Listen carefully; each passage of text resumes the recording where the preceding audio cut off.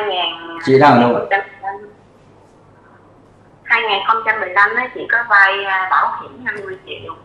Rồi tới chị cũng đóng đóng tốt đó hai vay ở đâu ạ? Vay FE à vay 50 triệu. 5 triệu Đúng nãy rồi. chị bảo năm nào? Hả? Năm nào vay năm nào? 2015 là lần đầu xong rồi chị đáo hạn lúc 2018 thì chị vẫn đóng tốt.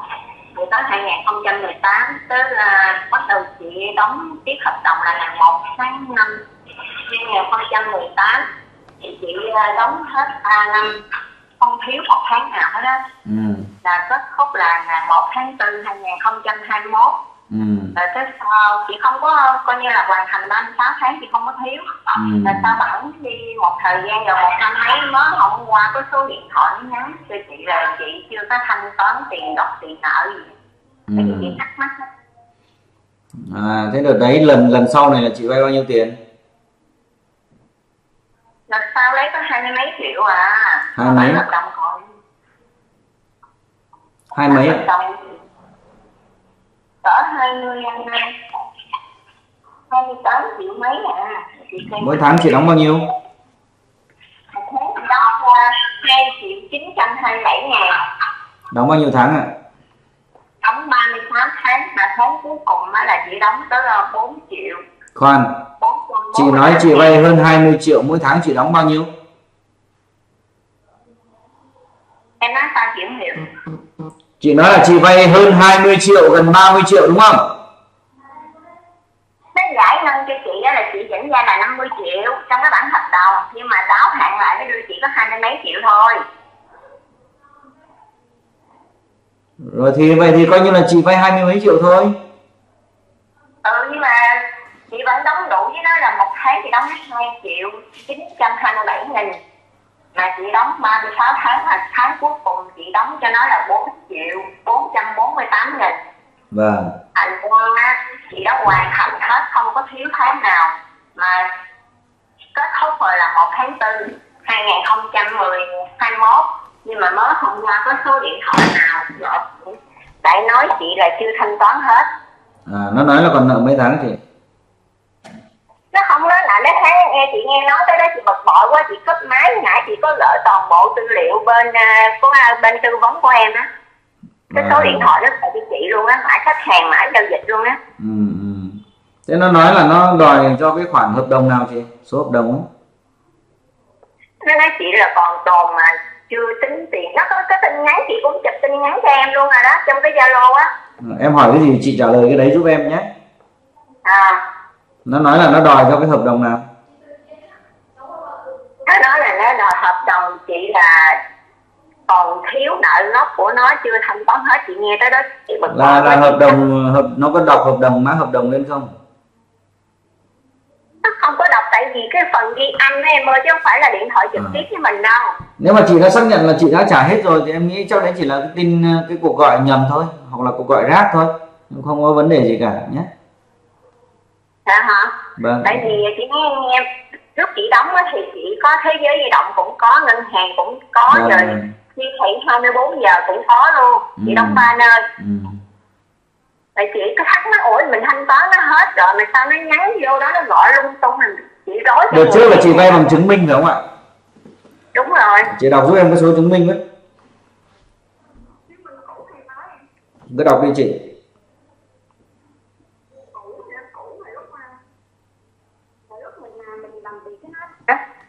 vâng trước đây chị vay bằng cái nào? Chị đọc cái đấy giúp em ạ. Rồi rồi rồi để chị ra. Thấy ta?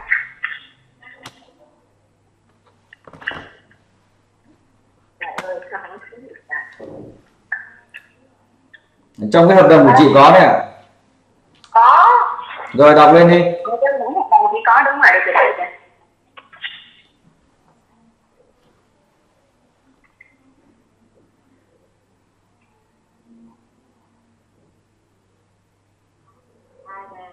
Đây nè. không hai vâng. Rồi. Rồi.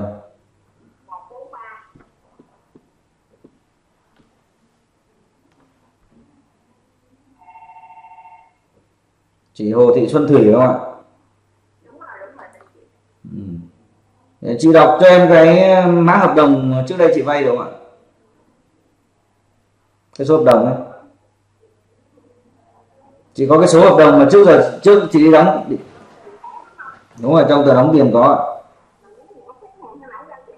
Cái mã hợp đồng, số hợp đồng ấy.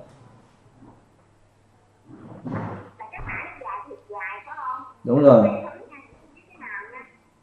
Rồi, cái đấy đi chị. hai không rồi cái đấy đi chị 2018 0321 không bốn một không không phải cái đấy ạ. Chị có cái nào mà có đuôi 1591 không ạ? Rồi rồi rồi có có có có hai không 20180321 rồi 001591 đúng không chị? Đúng rồi đúng rồi đúng rồi. Rồi hợp đồng này của chị đang còn thiếu tiền nhé. Đóng chưa đủ. Số tiền thiếu của Ủa, chị thiếu số tiền thiếu là 2 triệu 876.187 đồng thiếu từ tháng 4 2021 đến giờ nhé. Em, đọc lại cái CV ra để em chị phát bao nhiêu em 2 triệu 876.187 đồng. anh chị tám trăm bảy mươi sáu nghìn. Bao nhiêu nữa? 187 đồng. một trăm tám bảy hả em đúng rồi để, để đấy chị đi thanh toán chắc là lần cuối là vào mùng 1 tháng 3 rồi chị? Đúng rồi đúng rồi đúng rồi. Dạ chị đang còn thiếu tiền ở bên đấy chị liên hệ cho FE để trả nốt số tiền còn thiếu nhé chị là chị đi ngân hàng hay là chị chỉ ra thế giới di động hay là chị vô cam 24 em chị à, ghi số này 1900 và và từ từ một chín không không. 234588 hai ba bốn năm tám tám rồi. Chị gọi lên chị nhấn phím số 8 trên bàn phím điện thoại của chị nhé. À. Ừ. nhắn phím muốn phím số Xong 8 số điện thoại di động của chị hả? Chị gọi vào số đấy đợi một lúc. Rồi chị nhấn vào phím số 8 ấy. trên bàn phím trên bàn điện thoại ấy điện thoại có số 8 ấy. Rồi nhấn vô để gặp nhân viên. Gặp nhân viên ờ, hỏi lại giúp em xem là trước chị có một cái khoản vay ấy, vừa rồi có các bạn đòi nợ kiểm tra giúp chị xem là chị có đóng thiếu hay là như thế nào mà sao lại có người đòi nợ. Thì bạn ấy bạn sẽ trả lời cho chị hết nhé. Rồi và và chị gọi lên luôn đi nhé tranh thủ bây giờ làm luôn đi nhé. Nhớ ghi âm lại cuộc gọi chỉ có hai triệu mấy thôi con em nó thích của con em chị cứ gọi lên đi rồi sẽ biết rồi chị nhớ ghi âm lại cuộc gọi giúp em nhé. Dạ, dạ. Là phải chị đọc lại số là 1900 234 không em? Đúng rồi chị Rồi xong rồi ờ, kêu nó ra thì mình nhấn phím số 8 hả? chị muốn gặp nhân viên nhấn số 8 nhé chứ không nó nói tự động đấy Rồi, rồi, rồi. thêm nữa là chị ờ, không thì nhấn số 8 luôn hả em? Hay Chị là lưu ý.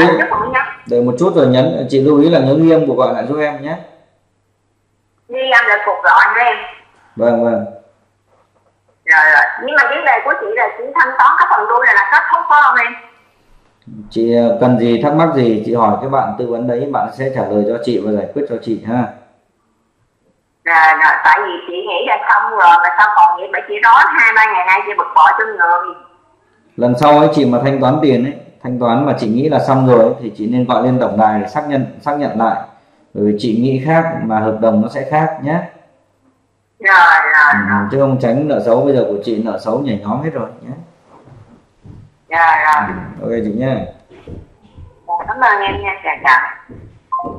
tôi lưu ý tất cả các anh chị chúng ta mà đi đóng tiền ấy chúng ta cố gắng là sau khi đóng tiền xong thì chúng ta gọi lại lên các cái công ty tài chính sau khoảng 2 ngày đến một tuần để chúng ta xác nhận rằng là chúng ta đã đóng cái số tiền đấy đúng không nào có nhiều anh chị là tự tiện đi đóng sau đấy để bẵng đến một thời gian một hai năm sau khi số tiền nó trừ hết nó quay lại nó đòi tiền gốc lúc đấy lại bảo lừa đảo không nhé tôi nói với anh chị là các anh chị nếu đóng rồi đóng rồi chưa biết là tiền gì nhưng đóng rồi hai ngày đến 3 ngày sau thậm chí là một tuần các anh chị gọi ngược lại để cho anh chị xác minh lại cái việc đấy xem mà có đúng hay không ha? À, đã đóng xong hay chưa nhé đấy tôi chỉ có dặn như thế thôi. Còn nội dung cuộc gọi thì các anh chị đã nghe rồi các anh chị nào gặp trường hợp này thì cứ chủ động xử lý. Tôi xin phép vào cuộc điện thoại nữa nhé alo ạ. Dạ dạ phải số của anh hùng hả vâng tôi hùng có việc gì cứ nói này dạ dạ à, là phần hình của em là như thế này á. À, hôm trong trước cái đây khoảng bốn này á em có vay trên ờ, cái cái công ty FPT tài chính bưu điện á, mà gửi về cái lực áp á. Em vay qua 30 triệu. Xong rồi nó kêu em là pha số tài khoản. Nó kêu là em bây giờ phải chuyển cho nó 30 phần trăm là có nghĩa là chỉ Việt Nam đồng để nó sửa số tài khoản. Cái em em không chuyển em cũng hỏi gia đình em á. Gia đình em kêu là nó lừa đừng có chuyển xong rồi kêu để im cho nó đừng có chuyển hết ừ. xong rồi cách đây hôm nay hôm nay nó mấy bữa nay nó cũng chưa gọi hỏi em gì hết á Ừ. nhưng mà em chỉ nhận được mấy cái cuộc gọi của mấy cái ông khác thôi là hỏi là em có muốn vay tiền không hoặc là gửi tin nhắn mà có cái số căn cước của em á Ừ. em sợ bị lộ thông tin á cho nên em mới nhờ anh là ngăn chặn cái thông tin đó giùm em được không ạ cái thông tin của mình thì bị lộ rồi đấy Dạ. đã bị lộ rồi thì bên ờ, bên mấy cái app đấy nó gọi đến để nó xác minh xem cái cái cái, cái thông tin cái giấy tờ đấy nó có đúng là là là của anh hay không để nó biết được nó mua mà. Nếu mà nó gọi mà thuê Dạ. bao thì có nếu mà gọi mà thuê bao ấy, thì tụi nó sẽ nhận định rằng cái cái cái thông tin cái giấy tờ đấy nó sẽ không có giá trị bởi vì là gọi không Dạ. gặp chính chủ đúng không? Nhưng mà dạ. nếu mà họ gọi mà gặp đúng anh luôn thì họ xác nhận thông tin đó là chính chủ nên là và anh đang đang tồn tại đang sử dụng điện điện thoại số đó để nó xác minh để nó làm gì? Nó sẽ cầm thông tin anh để nó đi tạo tài khoản ngân hàng và nó sẽ chèn cái số điện thoại khác vào thay vào cái số này của anh luôn. Đó. Nó có rất là nhiều chiêu trò thì tôi cũng không có tiện để mà tôi tôi nói nhiều vì thời gian không cho phép. Nên là tôi nói với anh cái việc ngăn chặn ấy thì bên tôi làm được. Hay là nhưng mà sẽ tốn phí. À, đi đôi với việc thu phí là đi đôi với nó là trách nhiệm. Bên tôi thu phí và có trách nhiệm và bảo hành bảo lãnh cho anh à, suốt trong quá trình anh sống luôn. Đó dạ. Thì cái phí nó là 2 triệu nếu anh muốn làm công tác ngăn chặn thì bên tôi sẽ làm cho còn nếu không thì anh cứ chủ động. Anh anh, anh cho em một xíu ví dụ như là em chuyển cái phí công tác là hai hai triệu là cái đó là anh bảo hành cho em ờ, mấy tháng hả còn nãy tôi nói là bảo hành cho anh bao nhiêu lâu? Dạ bạn đi em đang ở ngoài đường xe chạy ngang vừa chạy ngang qua em không nghe không kịp á. Lỡ bây giờ tôi nói xong anh cũng không nghe thì làm nào? Dạ nghe bây giờ em nghe kịp rồi em em vừa vô trong nhà rồi à thế à. Thế anh muốn tôi bảo hành cho mấy tháng? Dạ em muốn bảo hành cho em trọn đời được không anh? À, chọn đời thì phụ phí thêm 300 nghìn nữa nhé. Dạ. Ừ. là em chuyển hai triệu ba bên cái zalo luôn đúng không ạ? Ừ, chuyển 2 triệu ba. Ờ, dạ rồi. Em chuyển vậy thì mình có cái giấy tờ gì trong ngoài đã cứ gửi gì cho em thêm không? Để lại xác minh được chưa? Nếu mà muốn có giấy tờ thì gửi thêm 800 nữa. à. Ừ. ý là có giấy tờ là là anh gửi giấy tờ là chi đầy đủ luôn hả? Còn Ừ. nếu như em không gửi 800 mà em gửi hai triệu ba là coi như là anh bảo hành em trọn đời luôn rồi đúng không? Ừ, nhưng mà không có giấy tờ. Dạ dạ. Vậy vậy vậy vậy cũng được. Có gì em gửi anh là ha anh nói em vậy thôi để cho em ý thức thôi chứ còn anh gửi 2 triệu thôi nhé dạ dạ rồi em cảm ơn anh ạ. Ừ. dạ dạ. Còn bên anh bảo hành thì em nhìn kênh anh là biết không cần phải giấy tờ đâu nhé còn muốn biết pháp nhân của anh thì lên mạng có nhé dạ rồi vậy xong cuộc gọi này em sẽ chuyển vào bên cái số tài khoản zalo của trợ lý của anh cấp á em chuyển vào đó hai triệu. 2 triệu nhớ chụp cho anh cái hóa đơn đấy bởi vì anh phải gửi hóa đơn đấy sang bên kia chụp cho anh cái hóa đơn Dạ. chụp cho anh giấy tờ hai mặt mà em muốn ngăn chặn chứng minh hoặc căn cước kèm với số điện thoại của em gửi vào cái zalo bạn trợ lý của anh qua số 0140 nhé dạ rồi rồi có vấn đề gì sau này có vấn đề gì phát sinh hoặc là như thế nào trong tin nhắn mà ờ, có khả năng nghi ngờ bởi vì hệ thống bên anh sẽ auto tự động báo về nếu mà có ai đấy mà mở tài khoản nhé nó sẽ tự động nó báo về tin nhắn thì em để cái tin nhắn đừng có click vào những cái link lung tung lang tang nhé. Dạ dạ rồi dạ dạ, có dạ, việc gì cứ báo bạn trợ lý anh xử lý nhé. Dạ rồi rồi anh ạ Ừ. cái gì thấy không ạ? Tôi nói thật với anh chị tôi mà muốn lấy tiền anh chị nó dễ lắm. Đừng nói 2 triệu 5 triệu anh chị cũng phải gửi cho tôi nhưng mà không. Tôi làm những cái việc mà làm cho nó đúng làm cho nó đàng hoàng làm cho nó có tâm còn hồi nãy nếu mà tôi không có đính chính thì ông ấy ông gửi tôi 2 triệu ba thậm chí tôi nói thêm vài câu gửi thêm 800 nữa chứ đúng không ạ? Nhưng không tôi không làm cái việc đấy. Tôi nói với anh chị mà nếu mà tôi muốn thì tôi làm lâu rồi. Đấy là nói thẳng với anh chị với tầm tôi bây giờ tôi mà muốn giàu giàu nhanh lắm. Giàu lâu rồi.